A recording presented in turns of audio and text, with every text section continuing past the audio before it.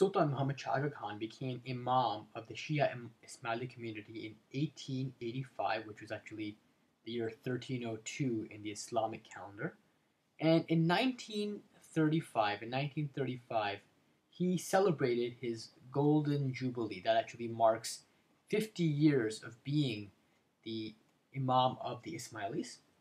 And to celebrate this very auspicious occasion, his followers really wanted to pay a tribute to him. After all, he had really provided them with uh, such an extensive degree of guidance. He had helped the community to progress uh, spiritually, intellectually, and materially as well.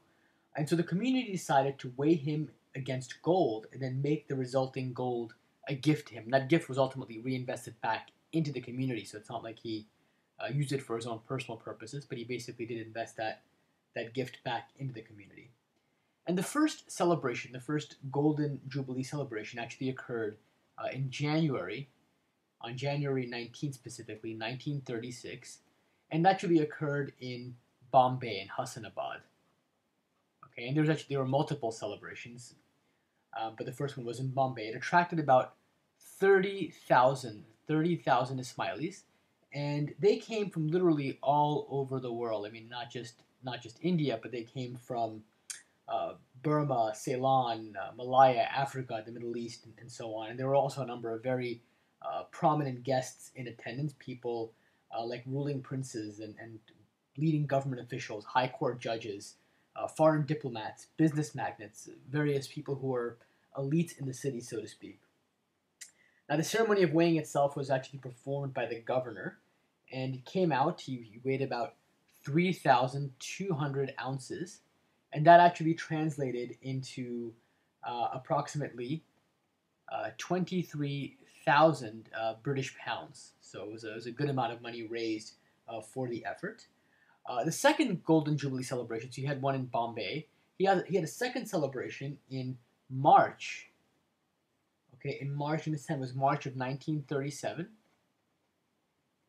Okay, and that celebration occurred in Nairobi. Okay, and again he was he was weighed uh, in gold, and and um, uh, this time about thirty thousand Ismailis attended as well. And, and to mark uh, you know such an important occasion, they did raise a significant amount of money to help uh, fund institutional projects and, and uh, various endeavors that went back to the community. And this, these were all uh, golden jubilee celebrations. about ten years later, um, he celebrated Sultan Muhammad Shah celebrated his Diamond Jubilee. And the Diamond Jubilee kind of marks uh, 70, or, or, actually 60 years rather, of Imamate. So the Diamond Jubilee marks 60 years of Imam. But that's again a very long time. He was able to serve as Imam for such a long time because he started uh, became the Imam when he was very young. He was just under eight years old when he became the Imam. And the first Diamond Jubilee celebration was actually conducted on uh, March 10th, 1946. Uh, okay, and this celebration took place in uh, Brabourne Stadium in Bombay, and this time there were 100,000 plus, 100,000 plus Ismailis from all over the world. And the audience again included very prominent figures, included 14 ruling princes, including the, uh, the Maharajas of Kashmir and Baroda and the Jam Sahib of Nawanagar. So again, uh, quite a showing. And there were messages of goodwill being sent from all over the world, from people like King Farouk of Egypt, uh, the King of Afghanistan, the Shah of Iran, and various other world personalities, including Gandhi. So he, Sultan Shah was a very well-known figure. Uh, and this time they actually raised uh, you know, quite a lot more. They actually raised uh, 640,000 pounds. So I'm not, actually I take that back, 600 and um, I believe it was uh, no, actually, it's about right. Six hundred forty thousand pounds was was raised uh, in this endeavor. Uh, but I think what I'm getting confused with is that was in the the first celebration. There's actually a second uh, Jubilee celebration. The first one, as I mentioned, happened in Bombay. There was a second celebration, which took place um, on August 9th, 1946. So August 9th, 1946. And that celebration took place in uh, Dar es Salaam, uh, Dar es Salaam, Tanzania, Africa, and specifically took place in the uh, at the Aga Khan Club there. Uh, and this time there were about 70,000 Ismailis attending. Uh, and they raised, uh, this time around, they raised 684,000 uh, British pounds. All right, and this was all raised effectively in diamonds. And then these gifts, you know, all of these gifts uh, were reinvested uh, back into the community. So you know, it's not like the imam kept them for for his own personal uh, benefit, but he reinvested these resources back into the community um, to help with a number of endeavors. For example, educational endeavors, even commercial endeavors, and, and starting businesses for the community, and so on and so forth. All right, and then finally, um, you know, the, the, platinum jubilee. The platinum jubilee occurred. Um, platinum jubilee occurred.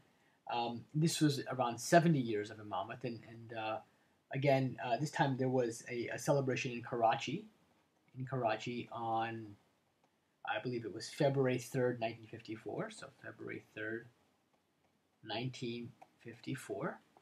And uh, this time, uh, as you might imagine, he was weighed against platinum. Um, and the stadium was again packed. Uh, it had about 60,000 people, and, and, even outside the stadium, the roads were filled with people, all uh, many of whom could not get inside because it was so packed inside. And at the ceremony itself, after a Quranic recitation, uh, Sultan Muhammad Aga Khan got up, he raised his hands in prayer, and then took his seat.